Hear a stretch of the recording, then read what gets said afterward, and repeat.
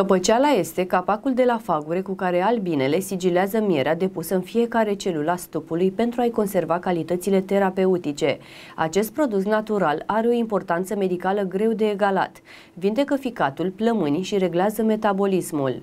La început, mierea are un conținut de apă destul de ridicat, de aceea albinele sunt preocupate să elimine excesul de apă și mută mierea din celulă în celulă, până când cantitatea de apă se reduce în proporție de 18%. În acest moment, pentru a păstra mierea în stup și calitățile ei curative, albinele sigilează fiecare fagure cu capacele făcute din straturi alternative de ceară și propolis. Ceara contribuie la o bună sigilare a fagurilor, împiedicând pătrunderea aerului și a invadatorilor în stup, iar propolisul sterilizează mierea. Când fagurele este căpăcit în proporție de 2-3%, apicultorul știe că trebuie să recolteze mierea. El folosește un cuțit special cu ajutorul căruia îndepărtează capacele. Acest medicament natural realizat de albine în farmacia stupului are o aromă deosebită și păstrează proprietățile terapeutice ale elementelor active din compoziția sa, mierea, ceara, propolisul, enzimele și antibioticele naturale. Datorită compoziției sale, căpăceala are proprietăți terapeutice și curative speciale. Se recomandă folosirea căpăcelii în următoarele afecțiuni. Afecțiuni ale stomacului, afecțiuni ale ficatului, afecțiuni ale cavității bucale, afecțiuni respiratorii, infecții datorită efectului antibiotic, afecțiuni cardiace, stimulează activitatea cordului, stimulează activitatea sistemului imunitar, se consumă prin mestecare până când ceara se topește în gură. În acest fel îți poți poți asigura și o igienă orală deosebită, iar efectele sale sunt și mai puternice. Specialiștii recomandă o cură de minimum 14 zile, urmată de o lună pauză, după care se poate relua. Căpăceala trebuie ținută într-un loc întunecos, uscat și răcoros. Relatează realitatea.net